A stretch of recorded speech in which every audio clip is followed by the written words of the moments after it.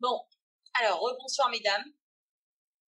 Toujours un plaisir de vous retrouver après la super soirée de la semaine dernière. On a enchaîné avec Baruch Hashem. On continue toujours. Euh, on a une Torah, un puits de savoir et de trésors qui nous enseigne chaque jour, avec chaque parachiote, des magnifiques enseignements.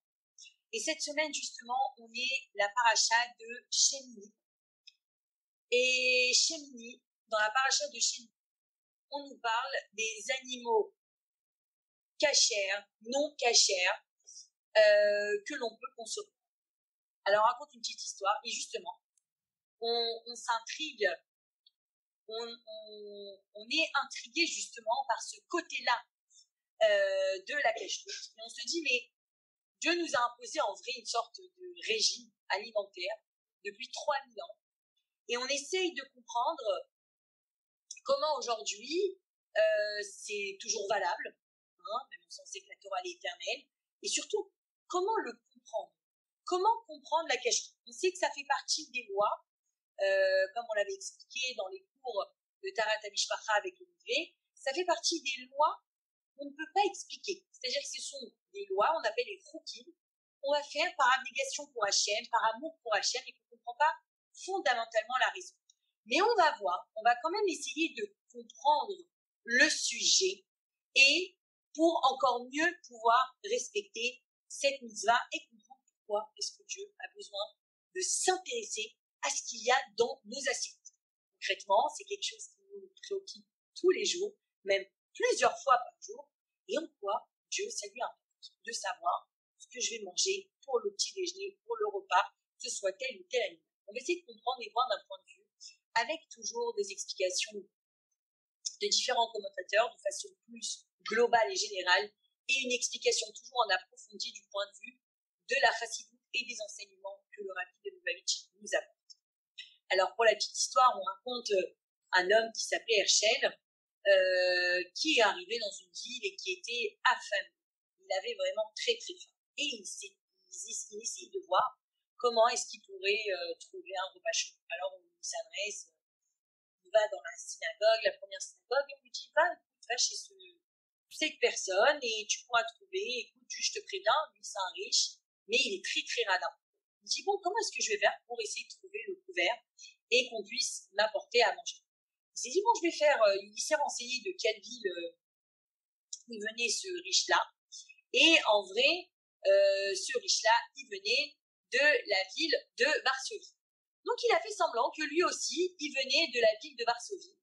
Et il s'est dit, on va essayer de, gratter un petit peu. Et donc il est parti annoncer, euh, s'annoncer chez ce riche et lui dire, euh, écoute, euh, je suis de la ville de, de Varsovie et je serais content de rencontrer, de rencontrer ton, ton, patron. Donc la servante qui lui a ouvert la porte, elle m'a annoncé à son qu'il y a quelqu'un de sa ville natale et il est tout content euh, qu'il y ait quelqu'un et donc il l'a invité, il a dit rentre, rentre, euh, c'est une ville qu'il avait abandonnée depuis 40 ans et il voulait avoir des nouvelles et donc il lui a dit rentre, rentre à la maison, il lui a lavé les mains, il lui a apporté du pain, il lui a apporté du pain, il dit alors dis-moi comment ça se passe en, à Varsovie, comment ça va, qu'est-ce qui se passe avec euh, Reb ce, ce, ce, cet enseignant que j'aimais beaucoup d'il y a plus de 50 ans, alors euh, Herschel lui dit c'est dommage que tu as posé la question. Malheureusement, il est décédé. Alors euh, le riche, il a commencé à dire quoi, c'est pas vrai, il est décédé, mais euh, oh là là, il, là, il lui apporte, en attendant, il lui apporte sa soupe. Il lui dit comment avec David, celui l'épicier là, qui donnait, qui donnait des bonbons à tous les enfants? Il dit oh, oh là là, le pauvre lui aussi il est mort. Il dit mais c'est pas possible. Et là il lui amène le plat de poulet et il lui dit Chouette, le le, le gabaï, celui qui s'occupe de la, synagogue, il lui dit, ah là là, ne m'en parle pas, lui aussi, il est mort. Alors il dit, je comprends pas. Tout le monde est mort. Qu'est-ce qui s'est passé? Il y a eu une épidémie à Varsovie. Il s'est étonné, le riche, il lui a dit, euh, et alors, euh, Herschel lui répond, il dit, écoute, moi, quand j'ai faim, tout le monde est mort. On voit bien que la nourriture, de manière générale, vivre, c'est manger. Manger, c'est vivre. Il n'y a pas d'expérience plus simple et plus consistante et plus apaisante que de manger et pour se remplir de force et d'énergie.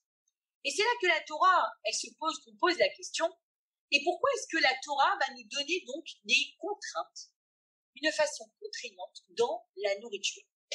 Qu'est-ce que la Torah elle a à faire dans notre rééquilibrage alimentaire, dans notre façon Pourquoi est-ce qu'on a besoin spécialement de savoir, euh, pourquoi est-ce qu'on a besoin d'avoir toutes ces lois de cache-route concernant la viande, tel animal, et tel poisson, et tel poulet? Et la paracha de Chémini, justement, elle va ouvrir la possibilité, elle va ouvrir, euh, elle va donner place à un autre aspect juif que la Torah va s'intéresser. Jusqu'à maintenant, on a vu des sujets qui concernaient certains moments de la vie juive, comme, comme accomplir la construction du Mishkan, Shabbat, les fêtes. C'est certains moments où l'homme va se couper du monde, l'homme va se couper de son moment présent et il va se consacrer à Dieu. Et la paracha de cette semaine de Chémini, elle ouvre sur un sujet qui concerne la vie de tous les jours, pas seulement juste un moment, mais quelque chose qui fait partie de son quotidien, même plusieurs fois par jour. Et on voit justement que on veut s'intéresser de près à ce sujet ce sujet qui va concerner notre façon de vivre un petit peu, notre façon de s'alimenter. Et on va essayer de comprendre un petit peu, et on va voir déjà que la Torah, elle, euh, elle va interdire, elle va surtout permettre seulement dix sortes d'animaux. Et elle va donner deux signes distinctifs qui vont permettre de déterminer qui vont me permettre de déterminer justement euh, quels sont ces animaux-là qui seront donc un signe pour les reconnaître. Et on nous donne deux signes. Le premier, c'est les sabots fendus. Vous savez, chaque animal, il a des sabots. Mais il y en a certains qui ont le sabot fendu. Et le deuxième signe, c'est quoi? Qui le rumine. Ça veut dire quoi qu'il rumine? C'est-à-dire que la nourriture est intégrée une fois dans son estomac elle remonte, il la remastique et ensuite il va la digérer. Et ces deux signes-là, justement, on va essayer de les regarder euh, de plus près. On va voir qu'est-ce qui se passe et pourquoi spécialement la Torah, elle nous permet pas de manger du chien, euh, du cheval, et pourquoi seulement certains animaux, et surtout avec un signe particulier, sont-ils autorisés dans la Torah Surtout que la Torah, on va voir que bon, elle n'est pas là à s'occuper quand même, euh, elle ne va pas donner d'indications spécifiques au niveau santé, elle va pas nous donner d'interdiction concernant des médicaments, ou concernant des minéraux, ou concernant les végétaux, elle n'est pas particulièrement centrée là-dessus. Alors pourquoi tout d'un coup Hachem, concernant les animaux, il s'inquiète de ce qui va atterrir ou pas dans notre assiette? Et encore plus comprendre euh, c'est quoi exactement ces deux distinctions que l'on donne pour reconnaître ces animaux-là. Et la question, elle est encore plus intéressante. Surtout que il n'y a pas dans la notion de nourriture on n'a pas de...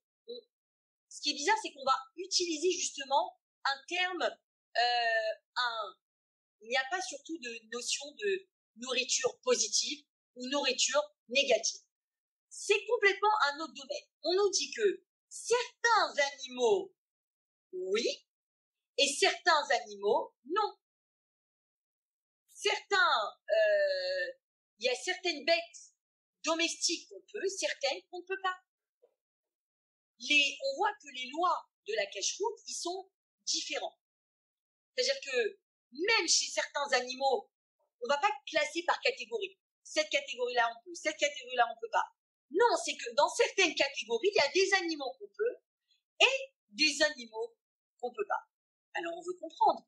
Mais c'est quoi la différence? Par exemple, entre une vache et un, cheval. Pourquoi est-ce qu'une vache, je vais pouvoir la manger? Pourquoi est-ce qu'il faut qu'elle ait les sabots fondus et qu'elle rumine? Et que le cheval, je ne vais pas pouvoir le manger. La question, elle, donc, elle vient avec le commentateur, le Abarbanen, qui vient et qui dit la Torah, pourquoi est-ce que la Torah va permettre de manger des animaux qui ont les sabots fondus et qui ruminent, et qu'elle va nous interdire les autres animaux qui n'ont pas ces conditions-là? Pourquoi est-ce que la Torah, encore plus, elle va pas donner les animaux, elle va pas employer le terme interdit et permis, elle va employer le terme des animaux purs et les animaux impurs. En hébreu, elle va employer le mot théora, taor et tamé. C'est quoi cette signification? Est-ce qu'il y a quelque chose de mauvais? Il y a un mauvais, euh, on va dire, une sorte d'énergie négative pour un chien et un chat plus que pour une vache? Pourquoi est-ce qu'on donne aussi ces notions-là d'impur et de pur? Et on va encore plus élargir euh, la question, surtout que justement, que on va voir que c'est une la mitzvah de manger cachère. Et les restrictions au niveau de notre alimentation, elle va apparaître juste après Matan Torah. Juste après que on est terminé, on a été délivré d'Égypte et qu'on s'est occupé de la construction du Mishkan, Dieu y vient et tout de suite, il nous avertit sur la façon de manger. Et la Gemara, elle vient, elle renforce et elle dit que ça, c'était tout le but en vrai de la délivrance, de pourquoi on est sorti d'Égypte. Que si Akadash Baruch nous a fait sortir d'Égypte, c'est pour arriver justement à ce moment-là de pouvoir faire attention à notre alimentation. C'est encore plus intriguant. Et qu'est-ce qu'on voit? Quand on s'intéresse de plus près et qu'on cherche On voit que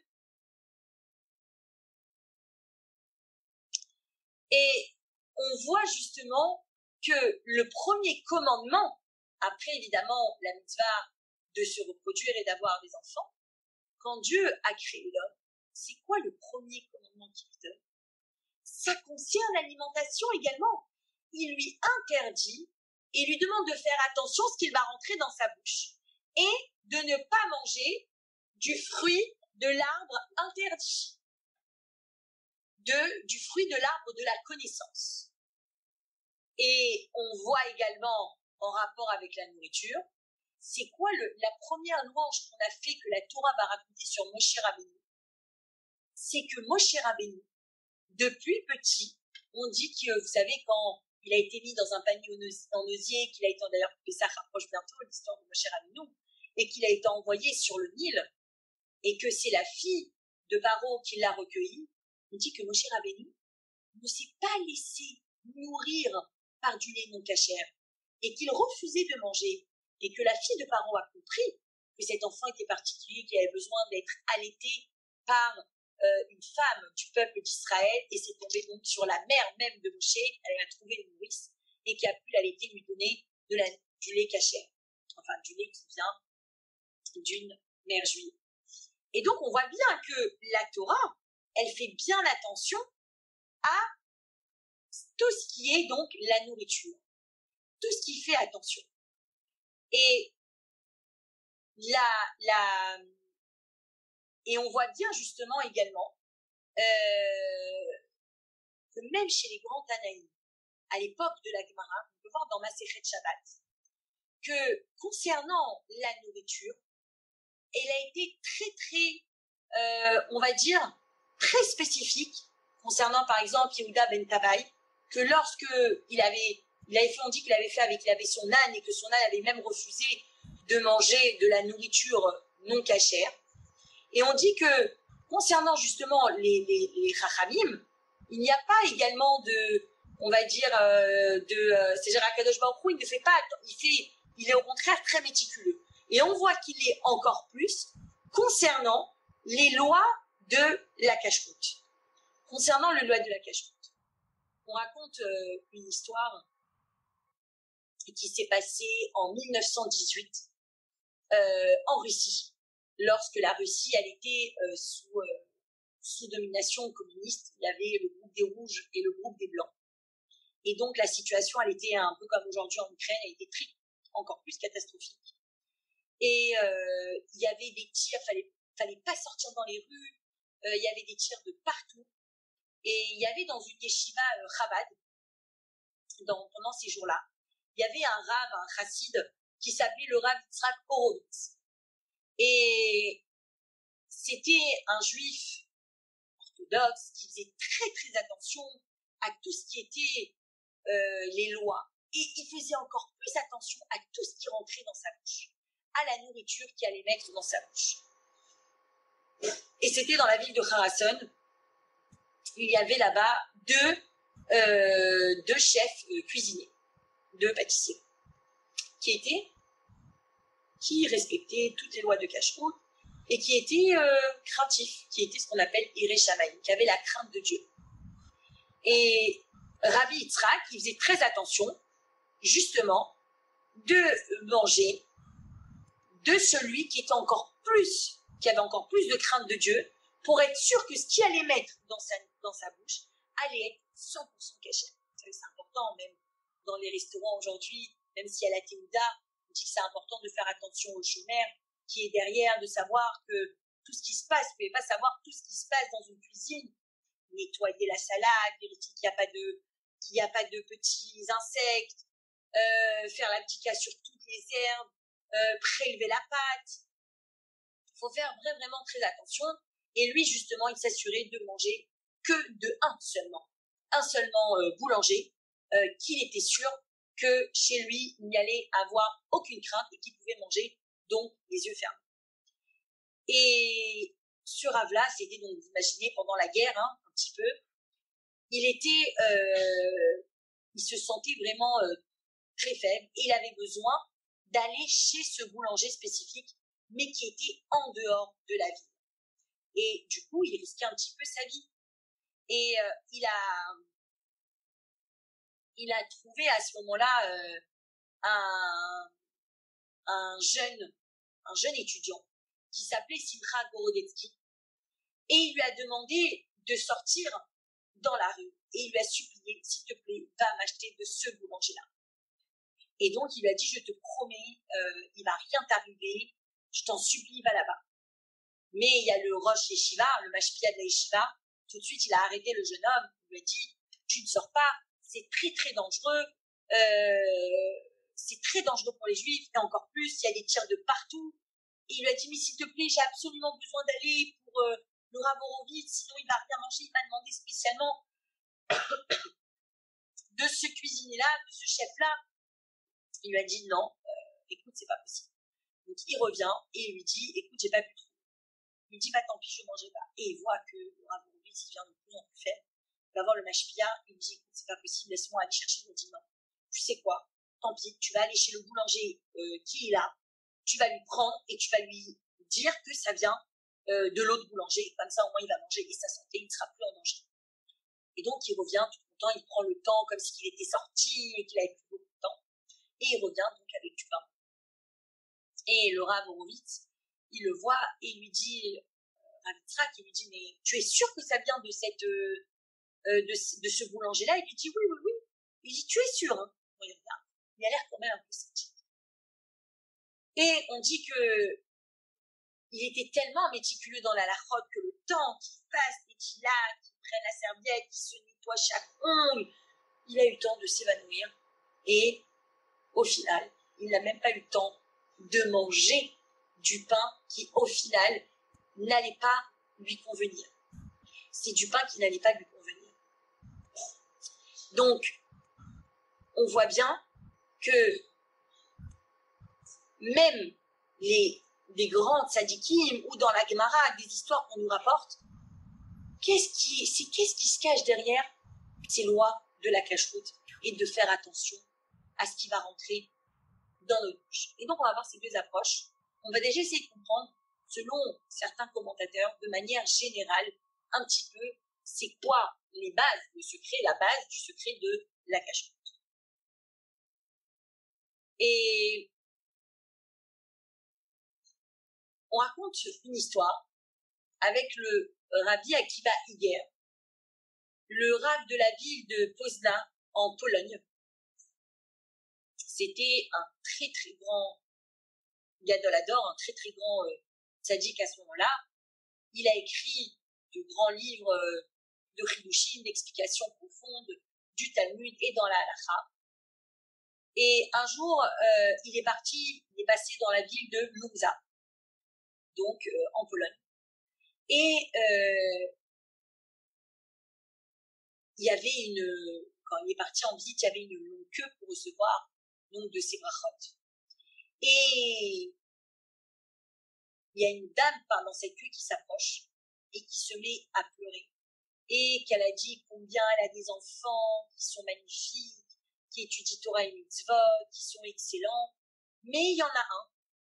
Euh, malheureusement, il s'intéresse pas trop de près à tout ce qui est l'étude de la Torah. Il est très bon dans tout ce qui est les études scientifiques et tout. Mais tout ce qui concerne la Torah, malheureusement, il est très loin. Et le Rav, qu'est-ce qu'il lui répond à ce moment-là? Il lui dit, il faudrait vérifier la nourriture de votre fils. Alors les parents, tout d'un coup, ils se sont étonnés. Ils ont dit, mais comment fait attention à la maison de rentrer des aliments strictement cachers On a éduqué nos enfants à ne même pas manger à l'extérieur de la, de la, de la maison, mais qu'est-ce qui se passe? Et là, en parlant à leur, leur fils, il lui dit, écoutez, euh, je me rappelle d'un événement. Euh, une fois, j'étais à côté de la salle des fêtes où il y avait des mariages et tout ça un Shabbat. Et euh, je, c'était un, vous savez, un, un, événement, une salle où il y avait des événements avec que des, la nourriture cachère, stricte, la méagrine. Et euh, il lui dit, j'ai mangé là-bas, je me suis assis Shabbat, j'ai mangé, euh, c'était pendant le, une fête, un mariage, et j'ai mangé. Et c'était donc la seule fois où j'ai mangé en dehors de la maison. C'était, euh, je me suis pas posé la question. Et donc, euh, il va voir le chouret, à ce moment-là de la ville, qui s'était occupé de la viande, de donner la viande, qui s'occupait de la bataille. Il est parti voir le chouret et il lui dit, dis-moi, est-ce que tu te rappelles de cet, événement, de cet événement-là qu'il y a eu un vendredi soir? Et là, le, le il se met, le, celui-là qui fait la chita, qui s'occupe le boucher, il lui dit, il se met à, à pleurer. Il dit, ah, ne me rappelle pas, pourquoi est-ce que tu me rappelles cette nuit catastrophique qui s'est passée? J'ai tellement jeûné, j'ai essayé de me faire pardonner. Je dis, mais qu'est-ce qui t'arrive en fait, il s'avérait que le khatan euh, de ce fameux mariage-là, excusez-moi, de cette siouda euh, que l'enfant a mangé, il s'était séparé euh, de sa femme quelques années auparavant et ils lui ont demandé de donner le guet à sa femme. Il n'avait toujours pas donné le guet. Et surtout de ne pas se remarier entre-temps. Mais malheureusement, il n'a pas écouté. Et donc, à ce moment-là, les raves de la ville ont décidé que euh, la viande qu'il allait spécialement faire euh, abattre pour son mariage allait être de la viande non cachère. Et donc, c'est comme si la viande était non cachère euh, à ce moment-là. Et qu'est-ce qu'elle vient nous apprendre cette histoire? La Torah, elle vient nous donner justement, elle vient, nous donner un mot spécifique. Elle vient changer le mot et elle vient quand elle nous dit que on a interdit de manger des aliments qui sont impurs, vous ne vous rendrez pas impur par ces aliments. Et ça veut dire quoi? Ça veut dire que en vrai la cache-route, c'est le fil conducteur un petit peu de la personnalité de la nature. Les lois de cache-route, elles vont venir et elles vont permettre à l'homme, en vrai, on est ce que l'on mange. Ça va créer notre personnalité. Tout ce qui va rentrer et qui va faire partie intégrante de notre chair et de notre sang va déterminer la personnalité et le comportement qu'on a. Donc la cache-route, c'est bien plus que faire attention de manger pour notre santé tel ou tel aliment. C'est surtout en vrai pour notre santé spirituelle. On dit que l'homme, il va être fait, il va agir selon ce qu'il va manger. C'est pas seulement que il va prendre de la nourriture, de l'énergie, il va prendre de cette nourriture qu'il a mangé une certaine énergie, une certaine force pour se construire, pour grandir et avoir une bonne santé. Mais il va construire sa propre personnalité. Il va construire un petit peu sa santé spirituelle. C'est-à-dire que ses pensées, ses émotions, ses ressentis, et même sa façon, son approche qu'il a de la vie, elle va être influencée par la nourriture qu'il mange. On dit que le vin va ouvrir l'esprit et va élargir les connaissances. La caféine va augmenter notre concentration. Et l'alcool, à l'inverse, va diminuer notre concentration. Le lait froid va avoir un effet de calmant sur nous. Et la viande, la viande rouge, va ouvrir les passions et l'appétit. Donc ça a un impact sur notre personnalité. Et c'est pour ça que la Torah va nous donner et va nous dire de quel animal on peut ou on ne peut pas manger. Et qu'est-ce qui va être bon pour le juif? Pour sa propre santé spirituelle et pour sa propre personnalité. On doit, en tant que juif, on doit exceller dans tout ce qui est nos, nos émotions et nos sentiments spirituels. Il doit, on doit faire en sorte que la divinité, elle se rapproche et que du coup, les, les, les, que tout ce qu'on va manger se rapproche au maximum de la sainteté de la Bidoucha. Elle se rapproche de Dieu. Un homme qui va manger un petit peu de certaines bêtes va devenir un petit peu comme la bête qu'il va manger. Il y a certains animaux qui sont cruels, qui sont vulgaires, qui ont une certaine grossièreté. Et donc, on veut se protéger de cette cruauté et de cette grossièreté. C'est difficile de manger d'un animal qui va être cruel et après d'essayer d'avoir des sentiments d'amour et de paix. Et c'est pour ça que la Torah, elle va employer les termes impur et pur. Car ça va, ça va avoir un impact un petit peu, ça va nous donner cette énergie. Oui, il va y avoir une énergie positive ou une énergie négative selon ce qu'on va manger. Parce qu'on va devenir ce qu'on mange. Et donc, c'est pour ça que c'est très important de faire attention à quel animal, de quel animal, de quelle viande, de la viande qu'on mange, de quel animal elle va provenir. Et donc, de manière générale, à part le problème principal qu'il y a de manger des aliments euh, vivants, la Torah, elle a fait attention et elle a choisi des animaux qui ont une certaine délicatesse et qui ont une certaine, dire qu'on peut, sur lesquels on peut donner des louanges. Pour que leur viande, que leur chair, elle soit également tendre pour nous, mais tendre pour notre esprit, pour que, nous-mêmes, nous soyons tendres. Et qu'on reste avec cette adinute, cette finesse d'esprit et de cœur pour pouvoir accomplir Torah et Et donc, on va essayer de comprendre pourquoi maintenant est-ce qu'il y a ces deux signes-là. Pourquoi est-ce que ces deux signes Ils vont venir renforcer au contraire le point que je viens de vous dire? Euh, on fait attention justement de manger des aliments, de la viande d'animal qui n'est pas cruel et qui n'est pas familier. Et comment est-ce qu'on peut les reconnaître?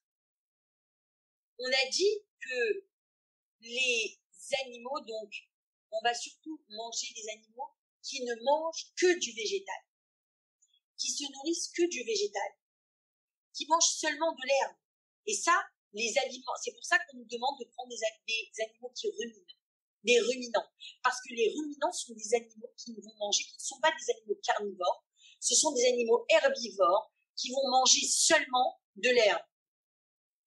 Et, c'est pour ça que c'est seulement des animaux herbivores qui vont ruminer. Parce qu'il y a une certaine enzyme, un certain glucide dans l'herbe qu'on appelle la cellulose qui va donner et qui va faire cet effet de pouvoir ruminer. Et donc les animaux, maintenant, donc ça, ça explique un petit peu le côté pourquoi est-ce que c'est les animaux qui vont ruminer. Parce que ce sont des animaux doux. Ce ne sont pas des animaux carnivores. Des animaux carnivores qui mangent et qui vont déchiqueter d'autres animaux n'ont pas cette, euh, cette euh, particularité-là. Et donc c'est pour ça qu'on va s'intéresser de près qu'aux animaux qui ruminent parce qu'on sait que ce sont des animaux herbivores qui vont seulement manger de l'herbe et qui ne vont pas avoir cette cruauté d'aller manger un autre animal. Et on dit que les animaux, ils utilisent leurs sabots justement pour se protéger et pour agresser un petit peu tous ceux qui pourront, pour éliminer et pour effrayer tous ceux qui viendront les embêter et qu'on dit que les animaux qui ont donc un sabot fondu, le fait le Rambam, il va expliquer que ceux qui ont des sabots fondus, ils vont avoir moins cette agressivité pour se protéger parce qu'ils ont moins le sabot plein pour pouvoir se défendre. Donc on dit c'est encore une fois un signe qui montre que l'animal n'est pas agressif. Et donc on voit bien que la Torah fait très très attention à ce côté de cruauté, parce que surtout en tant qu'être humain et en tant que juif, on, doit avoir ce côté-là d'être des personnes, justement, ne pas avoir cette agressivité et cette cruauté envers l'autre pour pouvoir développer notre, notre amour pour notre prochain. Et le Rambam, il explique justement pourquoi est-ce qu'on voit que chez les animaux, euh, chez, en particularité les volailles, les animaux qui volent, les oiseaux, il y en a plus parce qu'on dit qu'ils se rapprochent plus de Dieu. Mais que tous ceux qui vont avoir euh, comme l'aigle, comme autre animal qui autour, qui vont être carnivores, eh ben c'est seulement cela que la Torah, elle va interdire. Et donc c'est pour ça euh, que la Torah, c'est pour ce, cette première raison, première explication que la Torah elle va nous faire attention particulièrement à ce qu'on va manger on parle pas seulement d'un interdit, mais surtout d'un danger, d'une certaine influence directe sur notre propre personnalité et sur notre façon d'agir. Et donc on dit que celui qui ne va pas respecter les lois de cache va donc abîmer et va endommager sa personnalité. Et donc c'est pour ça qu'il faut faire très très attention à ce qu'on va manger. Mais jusqu'à combien? On voit que jusqu'à combien on doit faire attention? Et on dit que c'est la nourriture tellement c'est important que ça vient partie, ça a une influence sur euh, notre personnalité, qui on va devenir. On dit que même on rapporte dans le Talmud de Yerushalmi, euh, dans le Talmud de la Maseret Ragiga, on dit que c'était la source de la chute, vous savez, de Elisha Ben Abouya. Elisha Ben Abouya, c'était un grand érudit qui est devenu un grand euh, qui a tourné son dos un petit peu à la religion et qui est devenu au contraire euh, à l'opposé. Et on dit pourquoi est-ce que c'était le début de sa chute, Parce qu'on dit que sa mère, lorsqu'elle était enceinte de lui, elle passait dans des endroits d'Avodazara et où là-bas il faisait, il sacrifiait, il y avait des encens, il y avait de la viande, il sacrifiait de la viande. Et qu'elle respirait, qu'elle profitait de cette viande-là, le simple fait même de respirer et de sentir de la nourriture non cachère, donc de le fait même qu'elle a juste senti qu'elle passait dans ces endroits-là et qu'elle sentait cette viande-là, on dit que l'odeur est rentrée en elle et a été transmise à son bébé et ça l'a dévoré comme un serpent de l'intérieur et que ça a donné ces ondes et cette énergie euh, négative qui a une influence donc tard, et on dit que c'est pour ça que plus tard, malheureusement, il est devenu coffert, il est devenu rebelle un petit peu contre la Torah. Donc ça, c'était une explication simple de pourquoi faire attention, l'importance de manger tel ou tel aliment. Pour entamer la deuxième explication, je vais vous raconter une histoire qui s'est passée. Une super belle histoire qui s'est passée.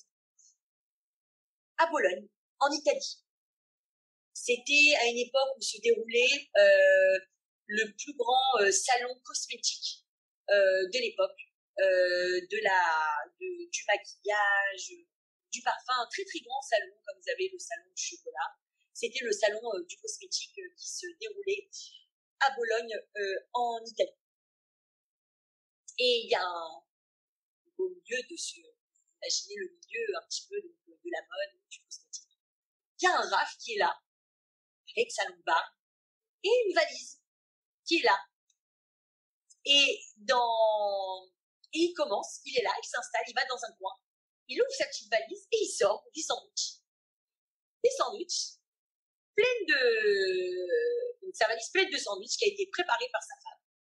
Justement, euh, pour aller euh, dans euh, la ville, pour distribuer, et aller justement dans des salons comme ça, où il sait qu'il peut y avoir beaucoup de juifs à ce moment-là, pour les trouver, et ça fait déjà 30 ans qu'il faisait ça, et pour leur donner de la nourriture cachée.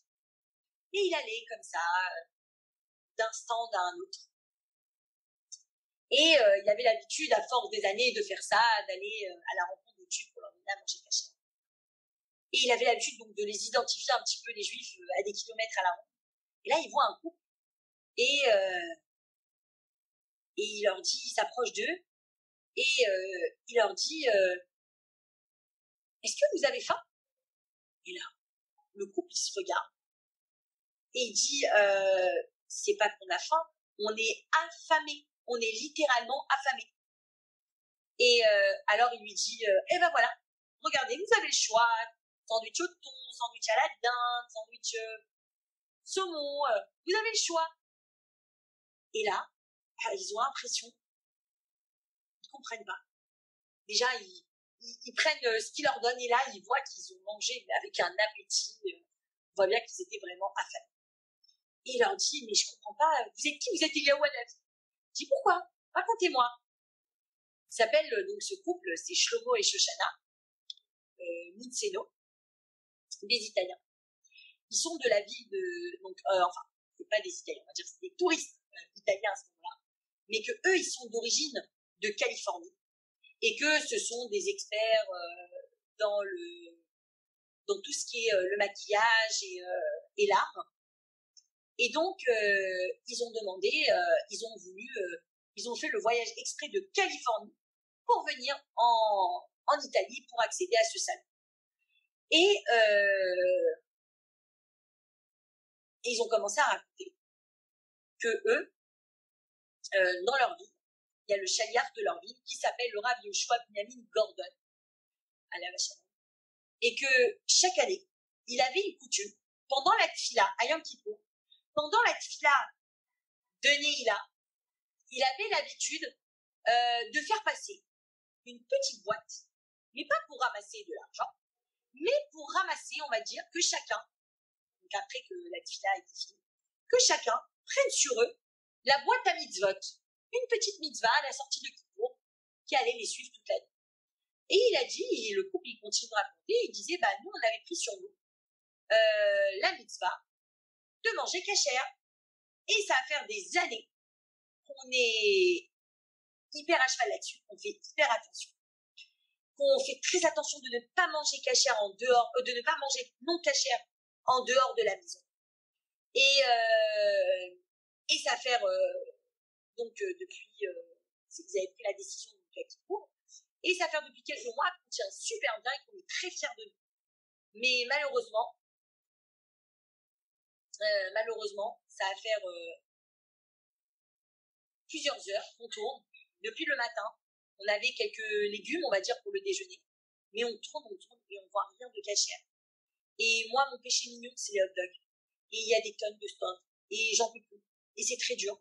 Et donc, je commençais à me laisser aller. Et je commençais à me dire que, euh, euh, on n'est pas à Yerushalayim, on n'est pas euh, dans une ville où il y a de la nourriture cachère. On est dans un endroit perdu. Peut-être que Dieu il va comprendre, peut-être que Dieu va nous pardonner, que on a peut-être une autorisation spéciale, on va pas mourir de faim, c'est très compliqué. Et donc, on commençait à ma femme et moi à aller vers ces stands de nourriture. Et là, on vous rencontre. Et vous avez une valise remplie de nourriture cachée. N'est-ce pas un miracle? C'est pas un miracle C'est quoi en vrai le, le, message que la Torah, elle veut nous faire passer sur les lois de la cache En vrai, c'est bien plus que l'acte en lui-même de la nourriture et de manger. L'homme, le juif, il doit comprendre, un juif, il doit comprendre que la, la vie matérielle, c'est une expérience spirituelle qu'il va faire grimper par ses actes de plus en plus.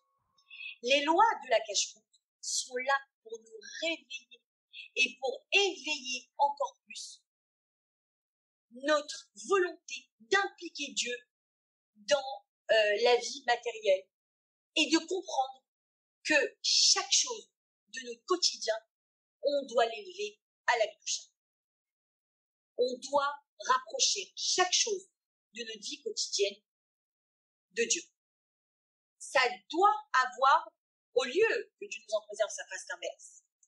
Et que c'est la vie matérielle qui nous entraîne à outrance dans ce qu'on appelle la tava, dans les envies, la luxure, et de tomber dans ce piège-là. On doit aller au-dessus et de se rappeler que derrière chaque chose matérielle, que derrière chaque aliment, il y a quelque chose de spirituel qu'on doit élever. Vous savez, je vous avais déjà expliqué dans un cours que lorsque Dieu, il a créé le monde, il y avait cette divinité de partout. Et qu'il a dû se retirer, mais que sa divinité était tellement forte qu'elle a dû le kéli, l'ustensile qui contenait, la exposer. Et donc, c'est, et donc, ces parcelles divines, elles ont été dans les quatre coins du monde, elles ont été dans chaque matière de ce monde-là. Dans chaque chose de ce monde-là. Et nous, on doit s'assurer de les élever. Et que même dans la nourriture, que la nourriture, elle doit nous donner cette expérience de pouvoir élever quelque chose de très matériel, comme de la simple nourriture. Et de se dire que on parle pas de quelque chose au contraire de très bas, mais qu'on parle de quelque chose de très spirituel qui va nous rapprocher encore plus de Dieu. Nous, en le rapprochant de Dieu, on se rapproche encore plus de Dieu. Et en quoi la nourriture, elle a quelque chose de spirituel? En quoi la nourriture? Il faut savoir que, au contraire, contrairement à d'autres euh, cultures et à d'autres religions, par exemple comme la religion chrétienne, on fait abstraction justement de tout ce qui est matériel. Que même les relations intimes, les relations charnelles, que tout ce qui concerne le plaisir de la nourriture, tout ça, on va s'en priver justement, on va s'en déconnecter complètement pour se rapprocher de Dieu. À l'inverse, dans le judaïsme, on vient nous donner une notion toute particulière qui est à l'opposé. Que tout ce que l'on va faire, même manger, même avoir des rapports intimes entre un homme et une femme, c'est des choses qui vont apporter de la spiritualité sur terre. Et que nous, on va élever ces, choses si physiques, si matérielles, si concrètes, on va les élever à la gdusha et à la spiritualité. Le juif, un juif dans sa vie, de, au contraire de juif, s'il veut vivre pleinement son judaïsme, il doit se rappeler qu'il n'y a rien, qu'il n'y a aucun point, il n'y a pas même un seul point qui n'est pas lié à Dieu dans sa vie et qui ne doit pas se consacrer à Dieu dans chaque point. Et la cache les lois de cache viennent nous les rappeler et de nous dire que même dans un moment de plaisir dans un moment de quelque chose de très concret comme de la nourriture, on doit se rappeler qu'il y a Dieu également et qu'on doit faire attention à ce qu'on va manger. Pour qui on va l'être pour notre service divin? Mais surtout que la nourriture, elle sert, on doit élever la nourriture. On est on n'est pas là, la nourriture n'est pas là pour nous, mais en vrai, nous, elle est là pour nous, pour notre service de Dieu. On est là pour manger. On va pas manger juste pour se nourrir et combler notre âme animale, mais on va se nourrir pour nourrir notre âme spirituelle en élevant et en mangeant des choses qui sont spécifiées par la Torah, parce qu'on va les élever à la goucha. Parce qu'en vrai, pourquoi est-ce que la Torah va donner tel ou tel animal qu'on peut manger et pas un autre animal? Parce que les autres animaux, ils ne pourront pas. Leur pas leur écorce matérielle, elle est tellement profonde qu'en les mangeant, on va pas pouvoir les élever à la sainteté comme les autres animaux. Les autres animaux, ils ont juste une simple écorce. Et qu'en faisant une bracha dessus, en faisant la shrita comme il faut dessus, et en appliquant toutes les lois de cache-route, alors on va pouvoir enlever ces écorces négatives et on va pouvoir élever cette impureté et la transformer en Gdusha et la transformer en quelque chose de pur. Mais que ces autres animaux, ils ne peuvent pas. On ne peut pas parce que il n'y a pas cette notion d'élévation. Et quand on regarde un petit peu, vous savez, il y a quatre domaines dans le monde. Il y a l'homme, donc l'humain, il y a l'être vivant, les animaux, il y a le domaine végétal, et il y a le domaine minéral. Et quand on regarde la chaîne alimentaire, on voit pas que, on voit que le plus grand, donc l'homme, va se servir qui est en dessous de lui. Il va se servir du monde animal. Et l'animal, il va se servir, comme on a vu avec les herbivores, du monde végétal. Et le végétal, il va se servir des minéraux et pour C'est-à-dire qu'on va prendre ce qu'il y a en dessous de nous, on va prendre quelque chose de plus bas et on va l'élever. Lorsque le végétaux va prendre du minéral, il va élever le minéral. Lorsque l'animal va manger du végétal, il va élever le végétal. Lorsque l'humain va manger de l'animal, il va élever l'animal et en même temps élever ce végétal et ce minéral. On élève tout un domaine, on élève les quatre domaines de ce monde. On va élever, on va prendre ce qu'il y a du plus bas, on va le transformer et on va l'élever à la sainteté. Et on va le vivre pleinement. On va amener de la divinité dans des choses aussi a, toute créature a été créée pour s'approcher de Dieu et pour être élevée.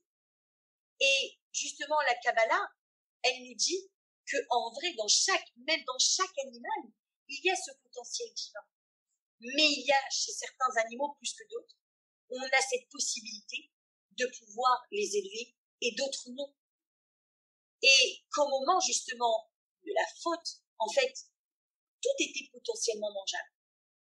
Mais depuis qu'il y a eu la faute du Vaudor, euh, la faute de Etzadat avec Adam et Chava, il y a ce voile, cette écorce qui s'est mise et qui a recouvert la sainteté. Et elle s'est mise dans tout, dans chaque chose de ce monde. Il y a certains animaux, c'est impossible de pouvoir les élever. Ça sera que au temps messianique. Mais nous, aujourd'hui, on doit déjà se concentrer sur ces certains animaux où l'écorce elle n'est que superficielle et qu'on peut l'enlever. Et on voit, on retrouve cette notion-là? On la retrouve également, par exemple, dans des choses euh, très kadosh, comme un Sefer Torah, les la mezouza. Quand on regarde, c'est quoi? C'est fait à base de quoi? C'est fait à base de peau d'animal. Ça vient d'un animal. D'un côté, c'est des choses tellement précieuses, tellement cadeauches, tellement cadeauches, tellement saintes. Et d'un autre côté, on nous parle de quoi Quand on regarde l'origine de ce Sefer Torah, c'est une vache qui bout de l'herbe et qui fait meu. Et pourtant, c'est ça la force de nos actes. C'est qu'on a réussi à transformer une simple vache. Alors attention, on ne va pas rentrer comme les Indiens, comme l'Inde, où c'est, euh, c'est la vache sacrée, c'est leur dieu. Mais on a on a réussi à transformer quelque chose euh, d'aussi bas comme un animal et on a réussi à reprendre cette étincelle divine qu'il avait en lui et à l'élever à des choses extrêmement spirituelles, extrêmement kadosh et saintes, comme un Sefer et des Mezuzot. Et donc, il faut, c'est pour ça que le Tanya, le Tanya, il vient nous expliquer, il nous dit, les âmes, justement, de ces animaux, elle nous explique tout ce concept de clipa, d'écorce, qu'il y a. Et elle nous dit, c'est pour ça que chez certains, ce qu'on appelle la klipat noga, c'est euh, les forces impures, l'écorce des forces impures. Et que chez certains animaux, elle est tellement forte que nous, on ne pourra pas l'enlever. Et c'est pour ça que on n'a aucun intérêt à manger de ces animaux-là. Parce qu'on n'a aucun but et qu'on n'accomplit aucune action spirituelle. Alors qu'en mangeant de ces certains, des animaux spécifiques que la Torah nous recommande, on va remplir. Déjà, faire attention à notre personnalité. Faire attention à ce qui va rentrer dans notre bouche et qui va faire partie intégrante de notre sang. Mais également, on aura ce pouvoir d'élever ces animaux-là et d'apporter encore plus de sainteté. Comme il explique justement le, le, rabbi de Lubavitch, on va terminer justement avec ces deux points-là. Et il vient nous donner, selon donc justement la Kabbalah, l'idée essentielle des deux symboles qu'il y a de, vous savez, les deux signes de ces animaux spécifiques. Le signe du sabot fendu, c'est quoi? Eh bien, nous apprendre que le principal de la chose, un juif doit faire attention. Le sabot, il est là pourquoi Le sabot, il est là pour faire une, euh, une différence, une séparation entre l'animal et entre la terre, entre quelque chose qui est très bas. Et donc, le fait qu'il soit fendu vient nous rappeler qu'on ne doit pas complètement s'éloigner des choses qui sont basses, mais qu'on doit faire une petite brèche, qu'il doit y avoir cette possibilité de pouvoir un petit peu se rattacher à cette matérialité qui est tellement basse comme la terre, à cette matérialité, et de pouvoir l'élever à la sainteté. On voit donc qu'on retrouve cette notion-là même dans les signes de ces animaux qui sont purs. C'est-à-dire que premièrement, avec ce sabot fondu, attention, ne pas tomber, avoir ce sabot, c'est important, ne pas tomber dans la matérialité, mais ne pas non, excusez-moi, ne pas non plus s'en détacher complètement. Et de prendre cette matérialité et au contraire l'élever à notre niveau et le rendre quelque chose de kadosh. Et le dernier, le, deuxième point et le dernier point, c'est le fait de ruminer. Ça représente quoi? Ça représente euh, notre façon de pouvoir euh, prendre du recul sur les choses. De la même manière, et ne pas tomber justement dans ce côté euh, d'assimilation, dans ce côté de tomber encore une fois dans le côté trop matériel. C'est-à-dire de pouvoir réfléchir avant d'agir, de pouvoir prendre le temps de réflexion, le temps de ruminer. Ça correspond en vrai au temps de réflexion. De la même manière qu'on va faire attention à ce qui rentre dans nos bouches, faire attention aussi à ce qui sort de nos bouches. Réfléchir avant de parler. De la même manière qu'on va faire attention également à ce qui rentre dans nos bouches également. Et de faire attention à ce qu'on va manger, à ce qu'on va dire, à notre comportement de façon générale et de l'élever. Est-ce que, est-ce que ça va avoir un impact? Est-ce que si maintenant je vais faire ça, ça va élever et ça va apporter plus de kedusha et de pouvoir réfléchir avant chaque action? Et on espère que justement, avec cette force de pouvoir faire attention et toute cette spiritualité qu'on aura apportée en faisant attention à ce qu'on mange, de pouvoir euh, activer encore plus euh, la Géoula euh, dans ce monde. Voilà, mesdames, pour le cours de ce soir. Vous pouvez, voilà, vous pouvez tous réactiver vos micros. Et si vous voulez discuter, vous avez des questions, avec grand plaisir. Merci Tania. J'ai pas tout entendu le début, mais en tout cas, c'était très sympa ce que j'ai entendu. Qui c'est qui me parle? Je ne vois Laurence. pas. Ah, coucou Laurence. Ah, je reconnais ta voix maintenant, oui. Ouais. Je te refais super un petit bien. récap entre deux. Ouais. Avec grand plaisir. Merci à toi. Merci beaucoup. Avec grand plaisir. Je vous rappelle la grosse soirée qui nous attend lundi prochain, si Dieu veut. Euh, une chanteuse exceptionnelle d'Israël qui vient. On a privatisé les salons Factory 58 dans à Bobigny. Il y a donc il y a, il y a un car qui va partir de Port de Champéry. On part et je pars également en voiture. celles qui sont intéressées, n'oubliez pas de réserver, surtout en ligne, de prendre le billet et de me contacter pour pour y aller. c'est une super soirée entre ski on termine, on clôture le mois de Hadar avec une date magnifique. On sera le Rafé Hadar, qui est le jour de l'anniversaire de la Rabbani Trayamushka. Euh, une, lumière extraordinaire. Et donc, euh, pour pouvoir se réjouir et faire la fête, donc il y a cette belle soirée lundi prochain, si Dieu veut.